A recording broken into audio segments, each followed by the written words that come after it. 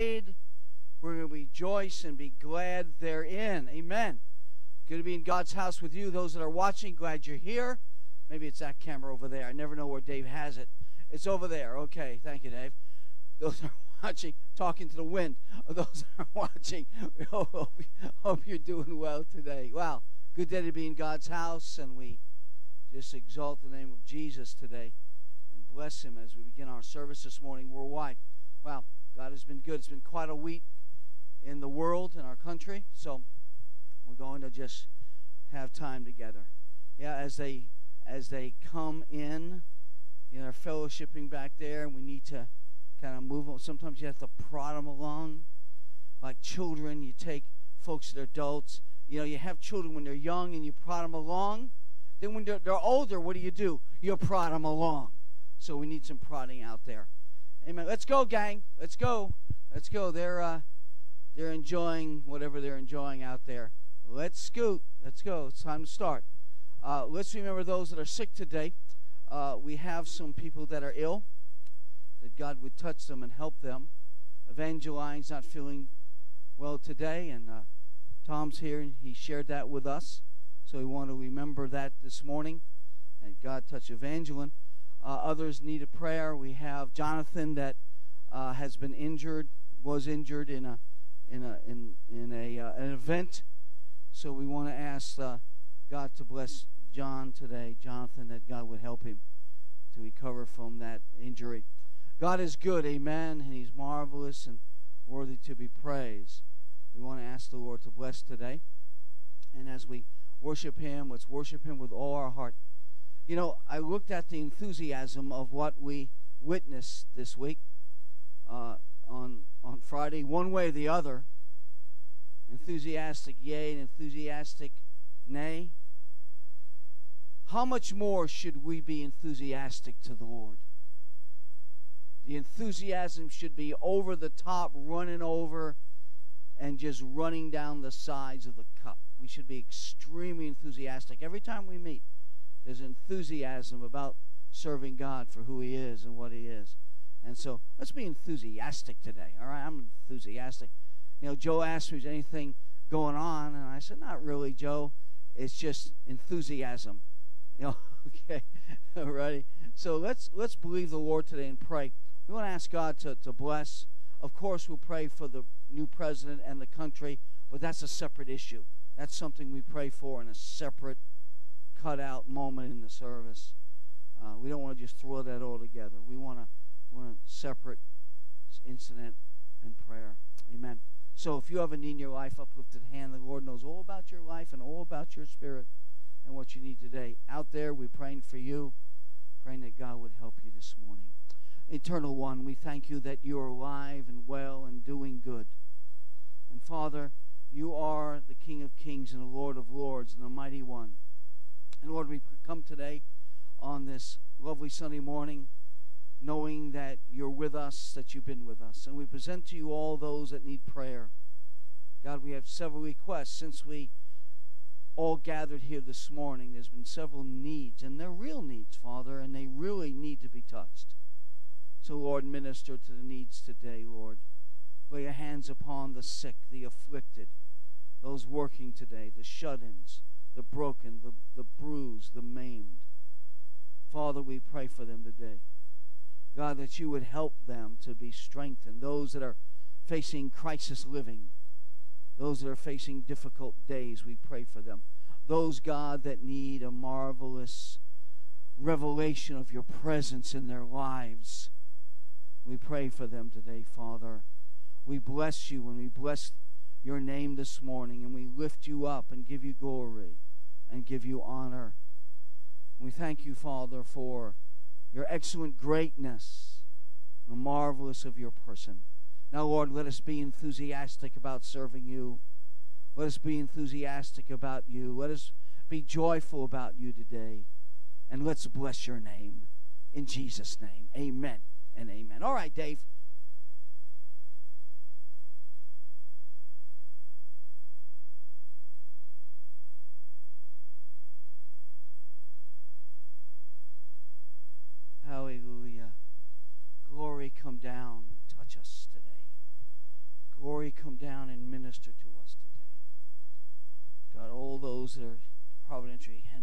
They're sick.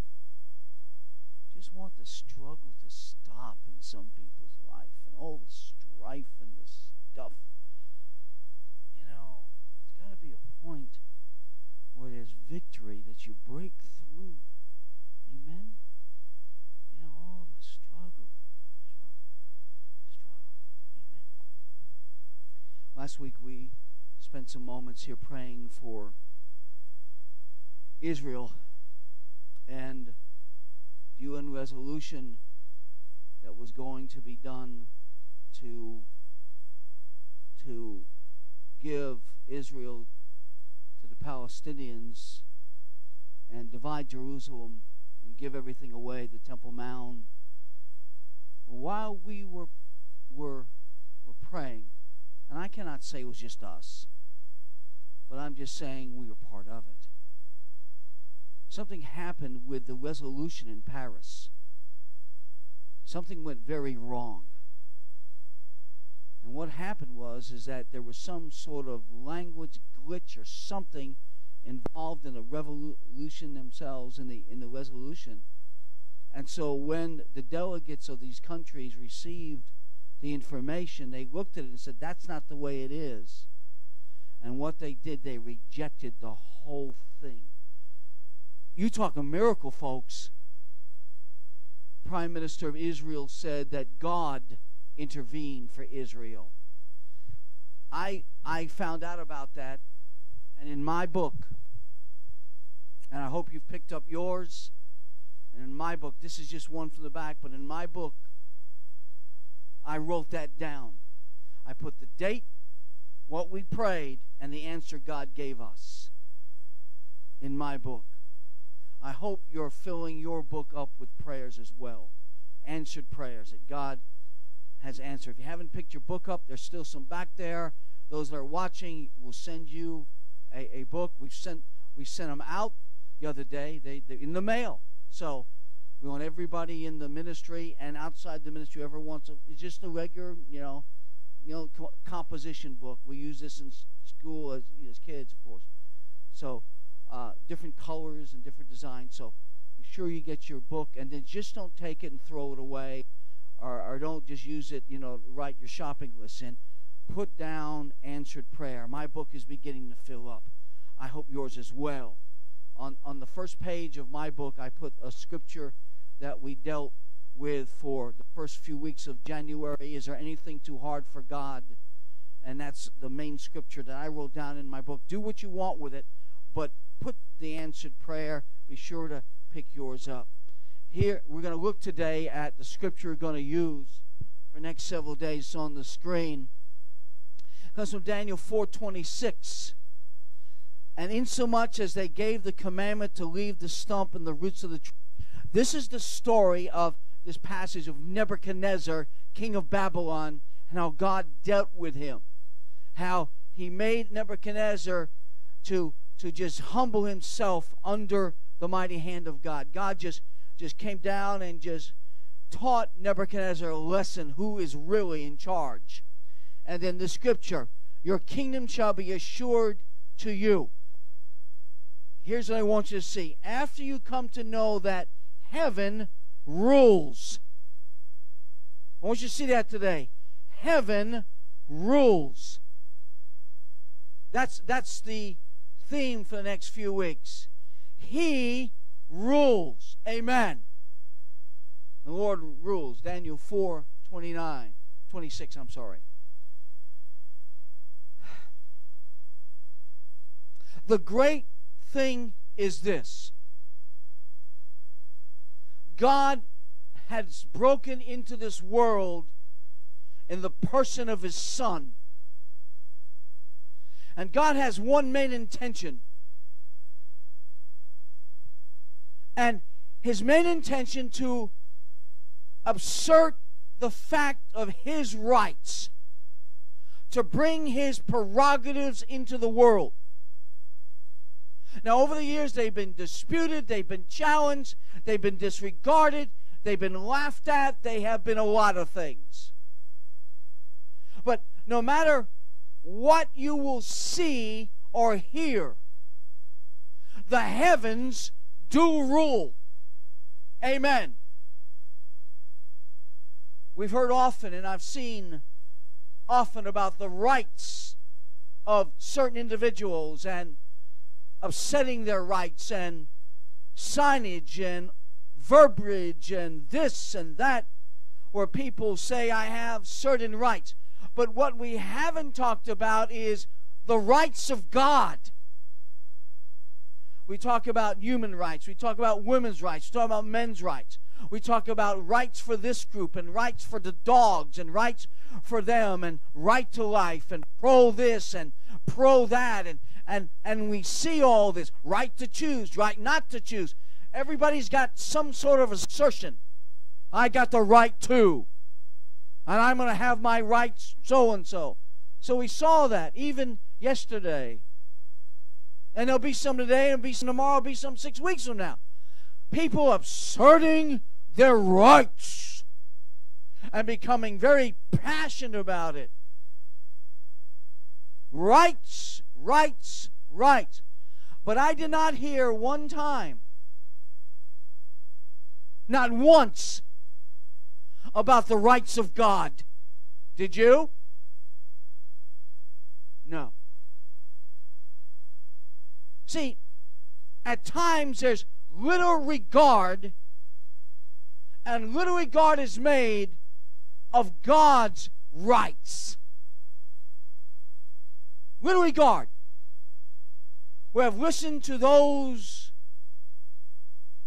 who are standing on their rights for some cause. We have the rights of, and you can fill in the blanks. We are we stand on the rights to fill in the blank. We want our rights to be heard, fill in the blank. On and on it goes.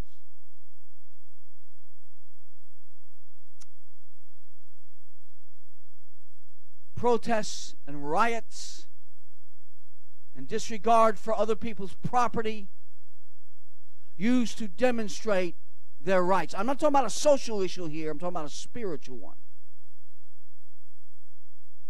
We shall break windows, burn cars, beat people up, shoot police officers for our rights. But God demands his rights as well. God demands his rights. And he brings his rights to the forefront. Because that scripture said, heavens do rule. At the end of it all, end of the day, end of everything, heavens do rule. Let's we're going to look at God's four rights. One this week and, and then two, three, four. Where God stands up and says, Hey, let me stand on the rights that I have because heavens do rule. And the first right we're going to talk about of the Lord is the right of his sovereignty. The right of God's sovereignty.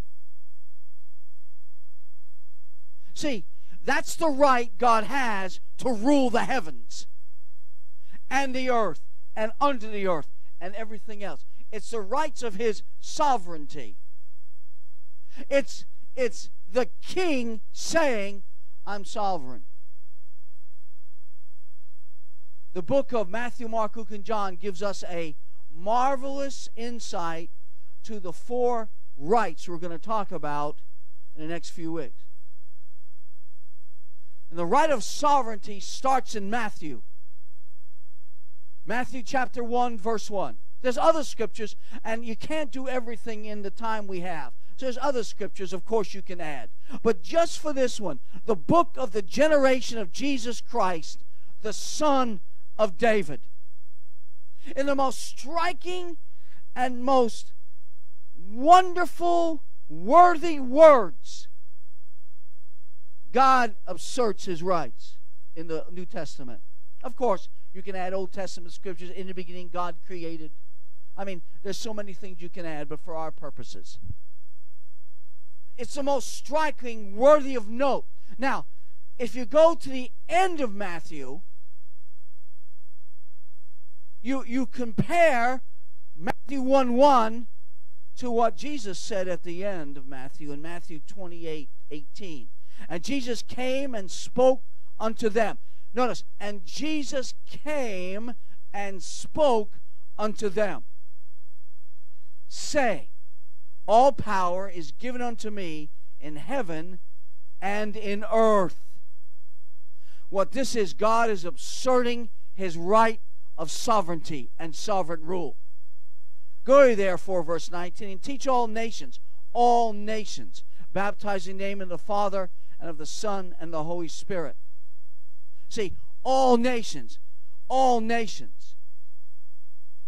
The Lord is asserting his right of sovereignty. All nations. I'm coming to you and I'm telling you, Jesus said, that he, I have all power in heaven and earth. Then he said, 20, teaching them to observe all things whatsoever I've commanded you. And lo, I'm with you always, even unto the end of the world. Amen. Sovereignty. God is asserting sovereignty. God is saying, I have some rights too. Our world have forgotten in general God. This nation has forgotten God wholesale. We have. Thank you for one amen. We've forgotten God in every avenue of this nation. We've left him out of our business. We've left him out of our schools. We left him out of our lives. And in some cases, we left him out of our churches. We've forgotten him. He's just up there somewhere, maybe. As a country, we have lambasted, we have made fun of, we have stuck our nose in the face of him, we have thumbed our nose and said goodbye, and we will do what we wish. We've forgotten him. He's been left out of everything. See, he says all nations. Can anybody else say that? All nations? I am sovereign over all nations. Can anybody else say that but, but him? God's right in sovereignty and the nature of his sovereignty must be made known. We must make known the sovereignty of God. And we must stand on sovereignty of the Lord. You say, well, you're doing a political speech. Sorry, I'm not. I'm preaching the Word of God. I don't do political speeches. One of the areas made known is the areas of the miraculous. 2017 for us is the year of the miraculous. That's our theme. And and we want God to do his will of the sovereignty. In Daniel chapter 4, again, we we just gave you one snippet, verse 23 to 25. There's a powerful statement in there. We can't zero in, but God talks about sending from heaven the watcher. If you read that back in verse 23, he says, I will send from heaven the watcher. And what it's saying is, is that I control, God speaking, those in the heavenlies. I, I control I control the armies of heaven. He's, that's what he's saying. He says, because he's talking about a king that was the strongest king on the face of the earth in power at the moment. Nebuchadnezzar of Babylon was the strongest king that the planet had ever seen to that moment. If anyone had power, it was him. He was totally, completely in control of the known world at that moment. And God says, I just want you to know, Nebuchadnezzar, that I control the heavenlies, and I control the heavenly armies, and I control the inhabitants of earth. That's what he's saying. So God says, I'm going to send a watcher. I'm going to send a representative, a watcher. And that's what he that's the term he used. And I just want you to say that I have the power of life and death in me.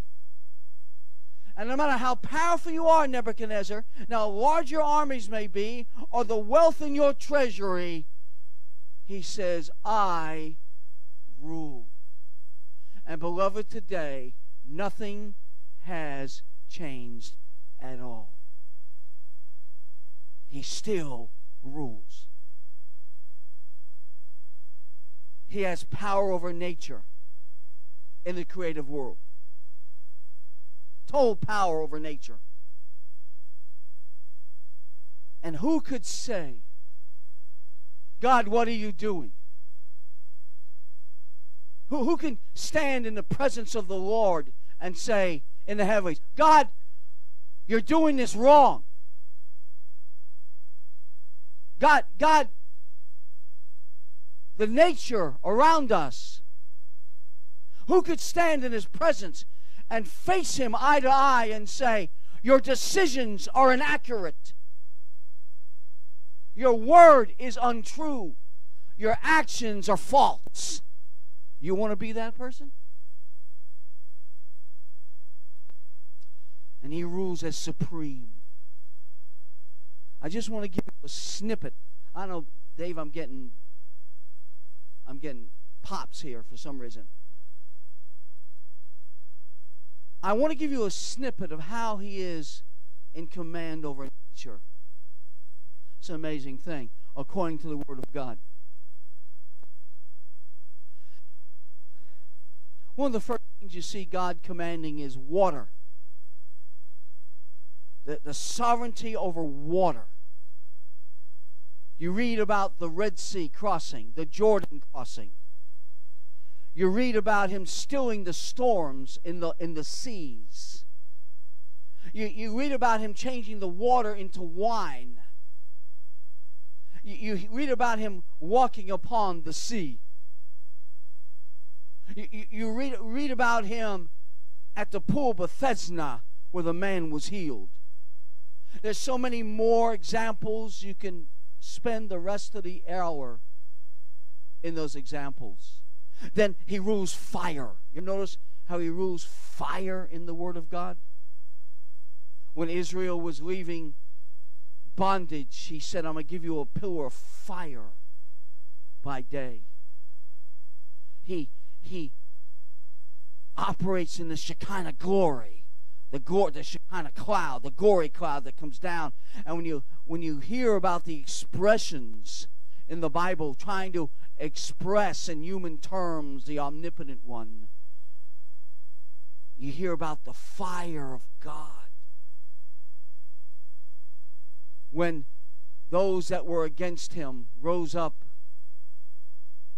and worshiped a false image, a false God God answered by fire on Mount Carmel. When, when in Daniel's day, when they threw the three Hebrew children into the furnace by Nebuchadnezzar, God was the fourth man in the flame. Controlled by water, controlled by fire. Then, then he controls the oil. People think the, the Saudis control the oil. God controls the oil. The woman with the issue of cruse, when when it would not it would not run dry as she continued to pour out the oil And we know that was olive oil. We understand that. So she could sell the oil and feed her family and make it through the, the horrible conditions of the world. We talk about the oil in the vessels, and we talk about in the Bible the oil in, in pots. The oil working in pots and in vessels and representing the Holy Spirit ruling over natural nature. We talk about God and the, Sun, S U N, where, where Joshua needed the extra daylight. So the sun stood still over, over the plains of the battlefield, and the, and the rotation of the earth stopped for a period of time. And as Joshua looked up, the sun did not move in the sky because God controls it. Sovereignty, complete right.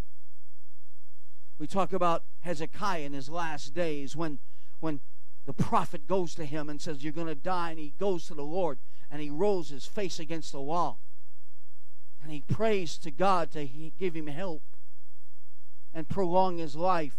And the sundial in the courtyard of the king, the sundial, the shadow moved back 15 degrees and added 15 years to the man's life. Control of sun and the stars. He's in control of food, physical food. When Israel could not make it, what happens? Manna came down. He, he controls he controls the meal in the barrel that never ran out and continually fed and, and ministered to and strengthened those that needed substance. The famous 5,000 fed. God, God took nothing and made a meal out of it for, for thousands. He controls the food sources. Every mouth of food we put in our system is controlled by the Lord. Amen. Controls it all. The very sun that's outside these windows, the very water we shall drink, controlled by Him. He, he, he just uses the natural realm and the natural elements the thunder, the hail, the rain, the trees. He, he's able, and the Bible said he walked through doors. He walked through solid doors, and he, all of a sudden he was in the midst. The Bible says the doors were closed, and all of a sudden he appeared. He walked through doors, solid objects, sovereignty over the natural elements of life natural things. The, the, the animal realm was amazing. When you read the Word of God, the control over the animal realm,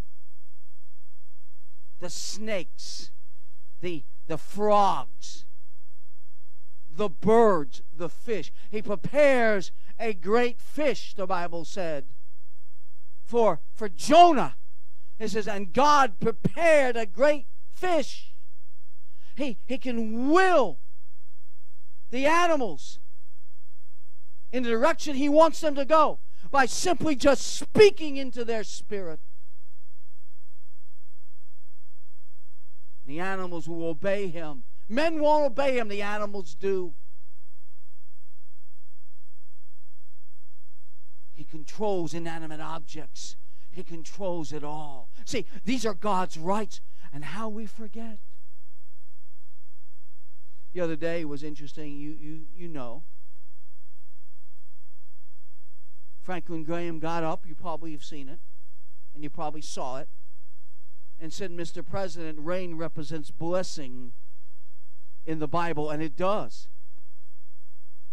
And what's interesting is, is that who controls the rain?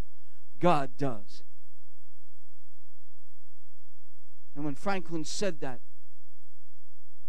he said, Mr. President, in the Bible, rain represents blessing.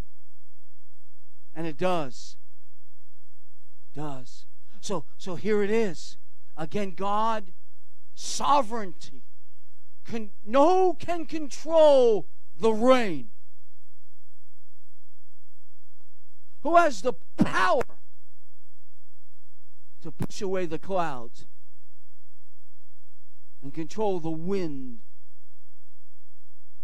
All we do when the wind blows is pick up our hat after he blows it off our head. Amen. Not that true? I'm having a bad hair day. How come? Because the wind is messing up my bouffant. Who can stop the wind in its circuits?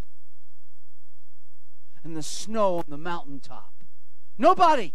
God says, I have the right to move the wind, and I have the right to make it snow. And He does. God's rights. God's rights. God's rights. He can move living objects to do His will. He can move living objects. He has the ability over disease, provision is so important. Perfection and permission. Provision, perfection, and permission is all God's doing. From reports in the Word,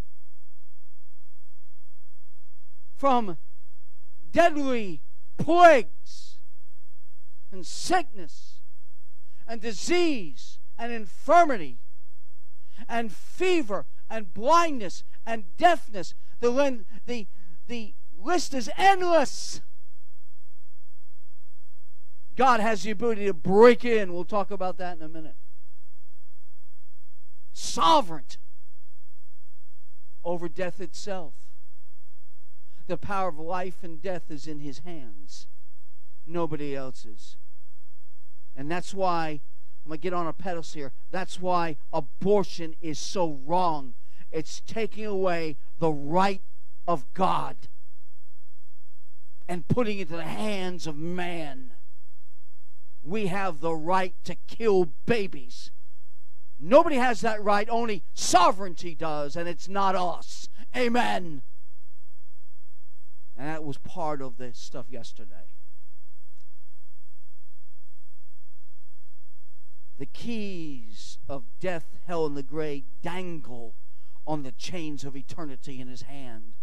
You can almost hear the keys rattling as he holds the keys to death, hell, and the grave in his hands, where he snatched them out of the hands of the enemy, where he snatched them away from the forces of hell took the keys of death, hell, and the grave away from the one that have stole the keys from Adam when Adam was deceived and gave away the keys. Jesus got them back. Hallelujah.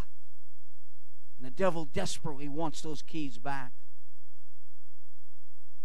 Over demons themselves, over devils and demons and Lucifer and the works of darkness, the imps, those that are, are against God. Demons cast out, and the devil bows himself to the sovereignty of God. And, church, one day you're going to see Lucifer himself bow his knee to the King of Kings and Lord of Lords. Hallelujah. I don't know about you, but I'm to be in that crowd. That's one, that's one coronation I'm not to miss. Amen. I've been invited twice, Morgan and I, were invited to the vice presidential house for dinner one time. Got an engraved invitation from the office of the vice president of the United States. Real deal. Produced by a senator that wanted us there to hang out with the vice president at a special dinner of 100 people. invitation came. I was invited by ticket to the inauguration of Ronald Reagan. By ticket. They sent me a ticket. But I was unable to go to the vice president's house, and I was unable to go in a ticketed event. But there's one ticket I have. It's the one when I'm going to stand in the presence of an almighty God. Hallelujah. That's a ticket that's been paid for by me. Hallelujah. That's one ticket I'm going to surely keep one day. He can do miracles. He can work them by His divine power for a divine purpose beyond the reach of man. I've seen the miraculous too many times. I've seen God do too many things.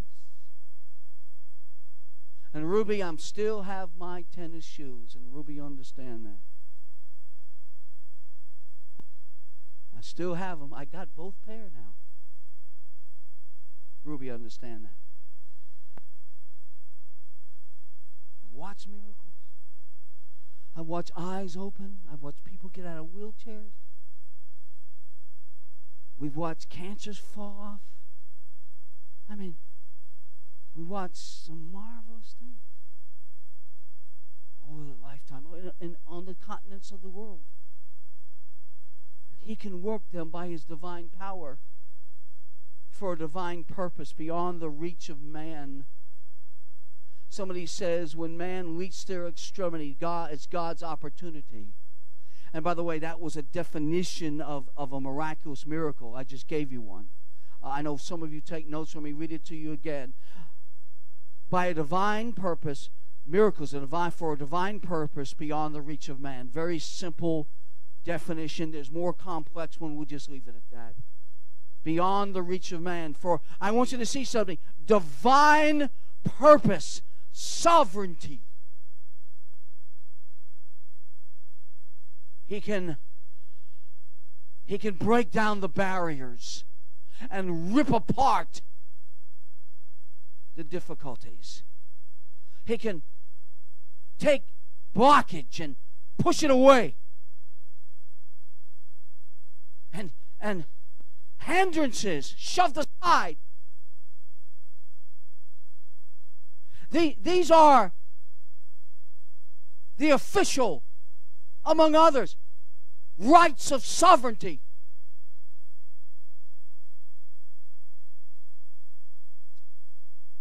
John 11, 4, don't have time to read it.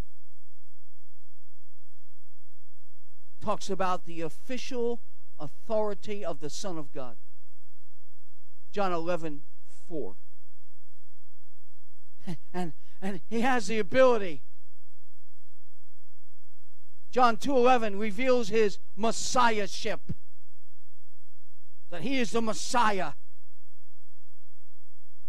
And they prove without and beyond doubt his supreme command over nature and the body of men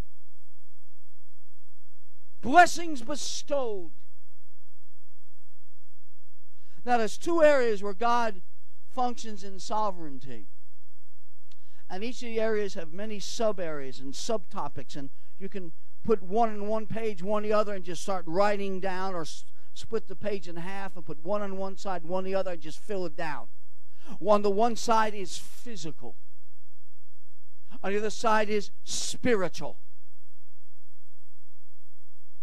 physical sovereignty in the spiritual realm as well. He has spiritual sovereignty. He, the scripture said, he rules the heavens.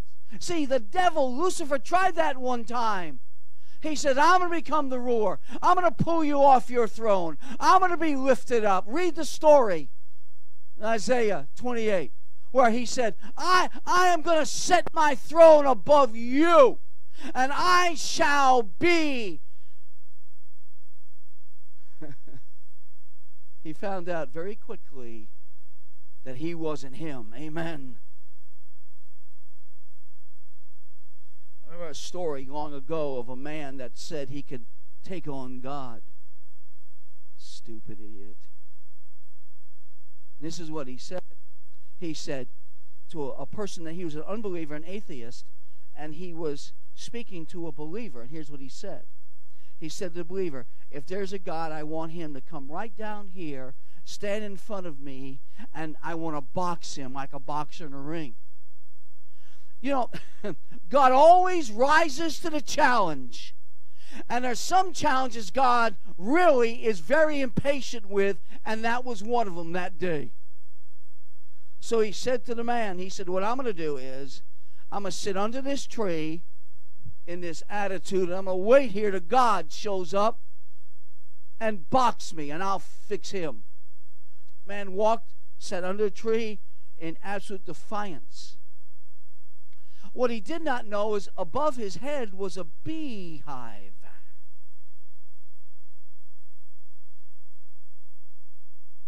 And God took one bee out of the hive. It buzzed around, stung him on the nose, and he was instantly dead. God can use one bee better than most nations can use an arsenal of ballistic missiles. Amen? Sovereignty of God, sovereignty of His presence, sovereignty of His command, sovereignty, sovereignty over the nations, sovereignty. But yet, in the physical realm and the spiritual realm, that sovereignty on both sides of the page has a loving kindness about it. He's sovereign because he wants to bless you. He's sovereign because he wants to meet your need.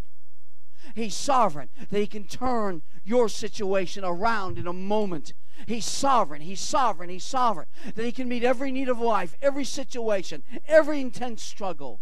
He has the ability to intervene in natural law. What he doesn't do, he doesn't suspend natural law permanently. He intervenes on the behalf of natural law. Gravity is gravity. And if you jump up, you're coming down. But God is able to help you. A friend, a friend of ours who's a missionary was driving alone one night in Africa. Little did he know that the bridge had been out for days and the African area, no one knew it was out and no one absolutely had it linked out. And he's driving along one night in the fog. And all of a sudden, he comes across a, you know, a ravine, a, a, a, crevice, and the bridge had gone out in the time that he had gone to where he needed to go and return again. And he goes off the end of the of the cliff and driving his jeep. And as he's flying across, he reaches up, says, "God, I'm going to see you in a few minutes, seconds." This thing's going to go down. When it runs out power, it's going to fall. And know what happened? He didn't fall. He landed safely on the other side of the ravine with no bridge. Why? Because God suspended gravity. Hallelujah. Don't you try it.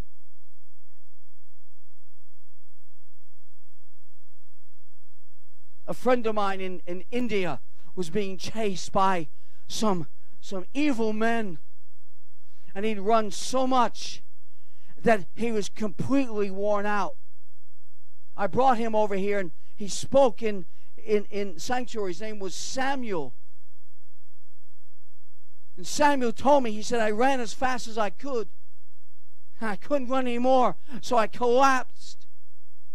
And he said, Well, God, if I if I die, I die.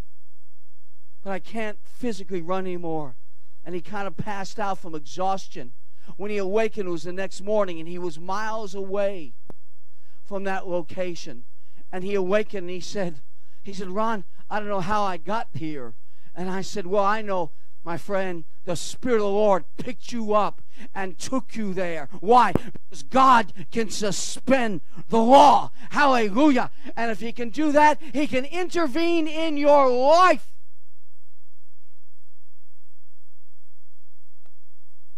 See, he can nullify interfere. That means he can disturb the natural course of things. He can change everything in a moment in your life. Everything. Right of God. Sovereignty. Who but the Lord rules the heavens? Rules. I can tell you stories of personal friends of mine where bullets were shot at them, where actually guns were shot and the bullets landed at their feet. I can tell you in my life how I saw a miracle one day. You know that story. Don't want to repeat it. Miracle of God, I know it is. That was a that was a miracle of God.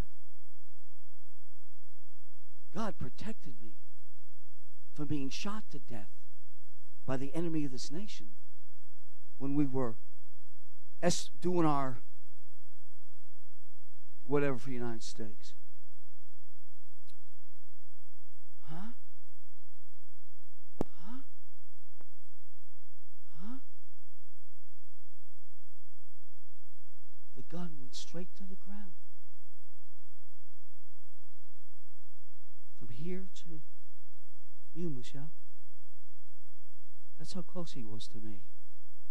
Quick, cylinder turned, hammer went back, right in my chest.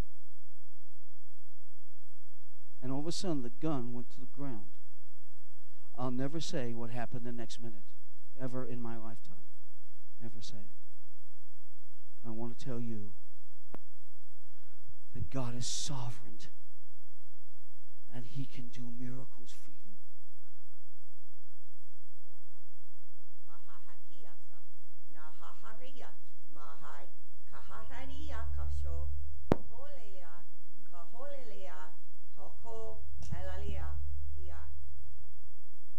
The third witness come today.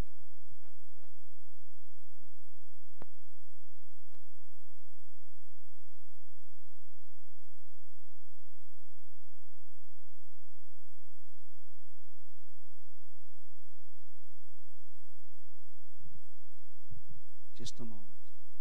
Let the interpreter speak.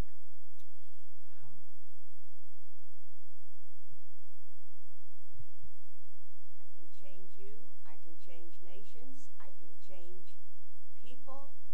I can change presidents. I am in total control. I have given you this message because I am the God, the King, the Master, the passionate one, the loving one, the glorious one that wants to live in you and you live in me from now on until evermore, says the Lord. He deserves the glory. Dave, play the song. It's a powerful song. It says, You deserve the glory, the honor, and the praise. Dave, anytime. Doesn't matter what we see or may hear or may experience in this life, the heavens rule. And you are on the throne, and so shall you ever be. Help us to recognize that always. And Father, in a world that's jumping up and down about their rights, Father, we recognize yours. In Jesus' name, amen and amen and amen. And the church says, Amen.